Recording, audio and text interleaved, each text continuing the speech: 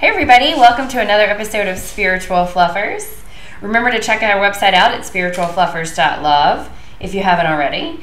And welcome to the episode of Which is Your Spiritual Anchor of Choice? And how does it manifest? And how does it manifest? Jason, which is your spiritual anchor of choice? Oh, I, I choose quite a few of them. Usually it comes in uh, the comedian aspect. But oh, I think we're both definitely the comedians.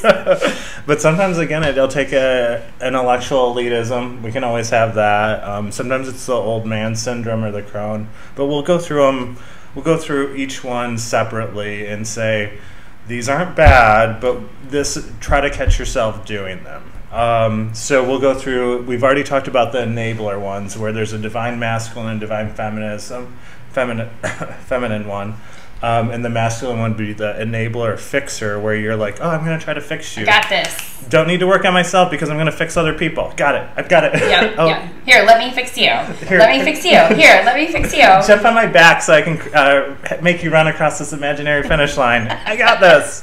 So, but again, usually that's, again, it's not a bad anchor. It's just an anchor that we use to not focus in on ourselves. Right. And that's basically the ego manifesting itself in a fun way. a fun way. Um, and then, I, so we'll go through again.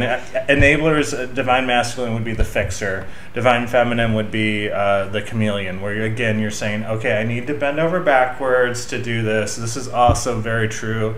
Both these usually take on a Christian element of I'm putting myself up on the cross and I'm doing this to sacrifice myself but really you're just doing it to prevent your own spiritual development. Well, and I definitely say, I know we are joking about the archetype that I tend towards is the comedian. Um, I definitely tend towards the intellectual elitist as well, but but in my uh, personal relationships, um, I, am always have been the enabler yep. uh, from the divine feminine, actually, which is ironic because I tend to be a fixer in all my other relationships. But in my in my close, close personal relationships, my intimate partner relationships, I'm I definitely go to chameleon yeah. and I sort of literally just mold myself into who you are and what you like to do and what are the TV shows you watch and whatever. And I literally I'll I'll come out of relationships and be like, why did I just spend three years watching Impractical Jokers? It's the dumbest show ever. no offense, Impractical Jokers. My child loves it. It's yes. fine. But I'm saying it's just not me. It's not something I would sit and watch. But because this person I was with loved it, I'm like,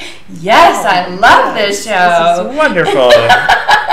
but and again, none of this is bad. It's just we need to recognize it in ourselves because you're never going to get fully rid of any of this stuff, but we'd like you to spend at least 10% of your time working on yourself or 20% right. or 30%. Well, and I think it's it's we can move away from the bad good dichotomy in mm. that it's not that it's bad that I would sit and open myself to a new TV show or to something that somebody else watched but I don't necessarily have to pour my whole being into that person's mm-hmm. persona. And I think that's the piece of it that I think if you can start to do a little work on yourself, do some meditation five or 10 minutes a day, really go within and ask yourself, you know, are you being authentic? Are you tapping into your own divine source power to co create life? You know, or are you choosing to be a victim, as we've talked about in other episodes, or are you staying in a low love level, as we've talked about in other episodes? Or am I really diving into this archetype of being an enabler and just literally pouring my whole existence into somebody else? For no reason other than to do it because that's the way you it feels good, I guess, or it's comfortable, and, or right. Yeah, and again, we'll we'll fall back into these patterns, these archetypes, just because it's it's who we are, and we don't really know where to go from there. And again, we're not saying don't do them. We're just saying be aware of them. Recognize. Yeah. yeah. So the point of today's episode is for us to share a few of them with you, so that you could actually begin to think about and recognize which of the Jungian archetypes do you actually fall into yeah. regularly, and is there a way for you to potentially think about um, stepping back a little bit from it, not necessarily blindly continually falling into it. So, as we've said, we've already have one one episode completely dedicated to enabling uh, empaths and enablers. So go see that one there. We'll put the link right below on this So what about this one around being an old man or a crone? Um, again, we just uh, like kind of created these ones of this is kind of what we do when we were like, oh, I because at, at our soul level we want to change, we want to grow, we want to progress, but there's going to be archetypes that are like, oh, no, we aren't.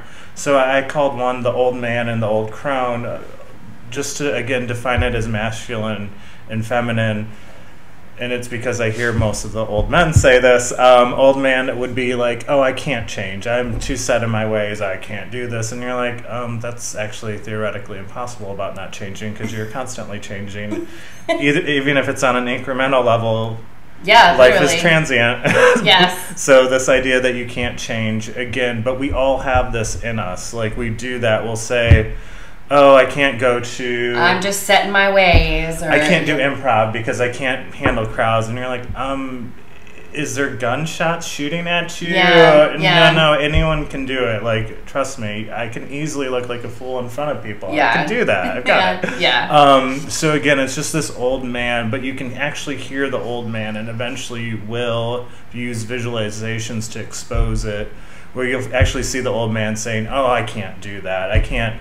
I can't go out on a Tuesday and hang out with friends or That's a really great example actually and we do I think it's a really great way to um, sort of bring these archetypes down to reality and you're not necessarily an old man No. but this archetype of being set in your ways and Mm-hmm. being insistent upon doing things a certain way or sometimes from the christian community it was very legalistic like Yep. it needs to be done this way and i think that example of you know oh it's a tuesday night and my friends have invited me out to happy hour well i can't go do that i've got to work tomorrow and Yeah. well you you can i mean you could still be in bed by 10 and Yeah. do what you need to do. I mean it's like it's it's- so try and catch yourself when Yeah. you hear yourself thinking in, in your head around when something new comes your way how do you react to that? Do you immediately go oh i couldn't do that or is it oh i could consider that kind of thing? Yeah, and it really is your your ego manifesting itself to say, uh, "I'm not changing at all," and so it's taking Yeah. on these these things, being like, "You're not doing that because that might change me, and I don't want to change." yeah yeah So again, just be aware of it and say, "Oh, okay, well." I don't need to. That doesn't mean I have to go out every night, but it does mean that I have to try new things and, and try to again break my matrix by trying new things. A- Again, like for me, improv class, I was like, oh, I'm not gonna, I can't do that, and then and then you did yeah, and then I did, and again, and you're was, really good at it it's very easy to look dumb on stage. it's much easier It's than any talent. of us understand it's your talent so easy to look dumb on stage i'm actually quite good at it Very good. Uh, so what about the what about the divine feminine aspect of this one, the old man versus the crone, which Yeah. in the goddess um, vernacular, it's the maid, the maiden, and the crone, and the crone represents the older wise woman. Yeah. So what is the archetype here around the crone? We're using it again. We're using all these as negative aspects. We're not using any of again. Negative is a bad word, but again, like ones that will hold your progress back. Old crone would be almost more of a victim mentality of being like, I was hurt. The world kind of sucks. Therefore, I shouldn't. Yeah. Um, and we all have this. Like again, there's no.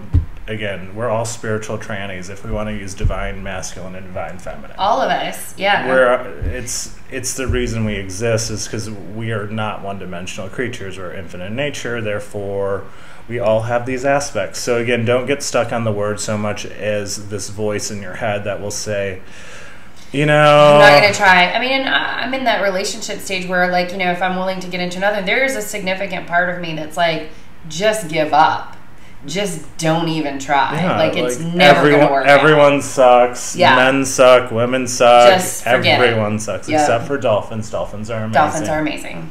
yeah besides that um, but um, but yeah i mean again it, it's just that again you'll hear it in your you'll hear that voice in your head your e- but again it's just your ego like saying i don't want to get burnt on the stove again. Stop touching the stove. And Yeah. on a spiritual level no keep on touching the stove. It's not a big deal. Yeah, yeah, like i mean try new things. Try try to try to do different stuff. Try to break your matrix because again that's the whole point of existence is to actually become the creator to become the painting and the can- the painter and the canvas Yeah. um, and again uh, so I, I would say those we've covered those two we can Yep. go a little bit more detailed in those again don't don't don't get caught up in the the divine masculine or divine Right. feminine. Just hear the voice. Just hear which one is it. Am I rejecting it because I'm set in my ways, or am I hermiting myself because I'm just just devastated from the world and I can't Right. take any more of And it? sometimes these voices are going to be actually accurate and be like, "Oh yeah, I shouldn't go out and you know, and that's okay. Like I I mean, shouldn't do but- crystal meth." right, like legitimately calculate the risk. Yeah. But if it's a safe invite, if it's you know, like you said, if it's if it's a healthy, productive way to bust up your matrix a little bit, do it. Do it. Yeah. Yeah, and again, this is it's our inertia that's actually trying to say, "No, you can't do it." Which is why we're calling these your anchors. Which Yeah. spiritual anchor are you? Which one's pulling you back? Yeah. So the next one up is the intellectual elitist. So basically, the intellectual elitist, you have intellectual elitists saying, um, I don't need to know this. Um, there's no need. What, what's the point? What's the point of existence? Why do I need to know that? And again, I think most of us can relate that to that on a computer level. Yes. Why do I Um, need to? no. Why do I need to know how to do this? I am a luddite. Um, I don't need to know this. Um, I don't want to know this. And again, your brain—that's just your brain saying it's putting a false quantitative measure on the pain of it. And it's it, again, none of it's real. It's it's you just saying, "Oh, I can't do this," or, "Eh, I don't want to do this. Yeah. Uh, I'm better." And then we have the other one that's The saying, other one is I'm better. I'm than- better than this. I don't need. Like, yeah. oh. Like, I'm beyond this. Wha- I'm above this. Yeah, why would I do guided meditations and beyond that? That's Yes. for children, you know, or something like that. And you're like, yeah, kind of it is, but they're actually very smart creatures. They're actually some of the happiest on the earth. Have you ever watched a playground full of children? They are more having more fun than any of us but, do. but we're more intelligent than they are, and we're better. we don't need to learn from them. We need to be stuck in our ways because if we, if someone sees me as Yes. as this, then it must be horrible. yes. So again, this is just again an anchor saying, why not do this Right. again? And again, this is how these archetypes manifest: is you're gonna hear one of them when you're like, eh, I just want to stay in bed. Yeah, totally. Um, and the last one we've got here is the one that you and I both identify with too, which is the comedian. Yep. So tell us a little bit about that. We we we categorize these in two points. Uh, the uh, the comedian is one of them is just self depreciating humor. Yeah. Like we're all self deprecating. Uh, we we Yeah. all do it Yeah. on a daily basis. I'm so stupid. I did this, Yeah. and yeah, yeah, yeah. Oh gosh, my mom had this rule where she was like, "You guys can't call each other stupid," and then immediately she would uh, start calling herself stupid. I'm like, and we're like, "That is a good rule." Yes, It's none of am- us should call ourselves yeah, stupid. It's an amazing Me rule. or you, yeah. But again, we, we all do this, and we'll all fall back on this. Oh, I can't learn this because I'm just dumb. Uh, Yeah. I, I give up. and you play off you play off your you know what you think are your flaws Yeah. out in public and that goes back to the series we did on the face and the secret self because we we're investing so much into what other people think of us Yeah. and we base our own thoughts of ourselves on how others perceive us so so it's like get ahead of them making fun of me i'm going to go ahead and make fun of myself Yep. kind of thing Create yeah. a, keep, keep that wall up. yep yes because yeah it's so smart to keep it up. Um, and then the other one would be cynical on the world. Again, this would almost flow into old crone, but a, on a comedic standpoint of you, you're gonna say, "Oh, the world, it kind of sucks. It's kind of a dick. Therefore, I shouldn't do anything." You won't let anything actually hit you through the face uh, secret self. Oh, we're doing that on love levels. yeah Um, Yeah. Where, like, again, like basically when love hits us or anything hits us, a new thing that would actually give us energy Right. or feed our spirit, it'll hit our, at our our face level and won't go through. And that's really these archetypes just blocking it and ninjaing it quite a few of the times. Yeah, so make sure and take a look at the series that we're doing on love levels because this is exactly this anchoring that we're talking about is really also eh, almost the the archetypes, the ninja archetypes that help you avoid actually encountering true love. Yeah. So if I'm, you know, I'm not, I can't change my ways, I'm never going to do this, then I'm never going to be exposing myself potentially to universal love from others or even from experience out in nature or some you know go skydiving type life changing experience that might be crazy beneficial for you. Or just something as simple as like walking on the beach. Exactly. like like you're like oh I can't do that. And you're like um yeah you could wake up 30 minutes a day and go walk on the beach. Yeah. it's really not that different. Unless you live in like Ohio then it'd be tough to walk on a beach. Yeah but you can get outside in nature. Yeah. Jason and I happen to be spoiled and living in Charleston yeah. so we can go walk on the beach. But, but yeah. you can do stuff like that. There's no reason go touch a tree. I mean these days what I'm understanding is the the power and energy and history that the trees around us hold is is amazing. And so just go sit underneath a tree and have your lunch as yeah, it starts to warm It's up. really try to break it and again you'll hear these you'll hear a voice, I guarantee it. Yes, a little voice in the back of your head. a little spiritual anchor. Uh-huh. Um, and again that's what that's what'll happen. And then you'll start to once you start recognizing that we'll have visualization techniques on how to kind of work with it, not against it, because again, you're playing chess against yourself. So if you try to be like, I'm not gonna fight, I'm gonna fight this really hard, it, it doesn't work. It just makes it stronger. Yep. So make sure and check out at spiritualfluffers.love. We're going to have an entire segment there of all of our guided meditations, and we'll label and tag some of those meditations so that we can you'll know which ones are going to be working with these spiritual anchors and which ones might be working with love level and things like that. So um, thanks again for joining us. We hope you've yeah. enjoyed it. Please make sure and comment below if you happen to know which one of the spiritual anchors you are most prone to. Please feel free to put that in the comments below, yeah. and and um, always remember to give us a thumbs up. Awesome. Also give a also uh, blah, blah, blah, um, also do. Basically tell a story about a oh, funny oh, yeah. time. Oh yeah, yeah, definitely. If you've got a funny story about one of the spiritual anchors, please offer it up. Laughter is one of the best ways to raise people's vibrations. So yep. if you can make someone else laugh, you're going to raise your own as well as theirs. Perfect. Thanks.